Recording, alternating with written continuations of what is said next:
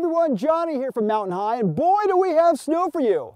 Another six inches of fresh snow fell this week, and now the skies are clear, the roads are clear. The West Resort is open daily from 8.30 a.m. to 10 p.m. with up to eight lifts, 15 trails, and the coverage is amazing with a 14 to 24 inch base of fresh packed powder. Get more at mthigh.com.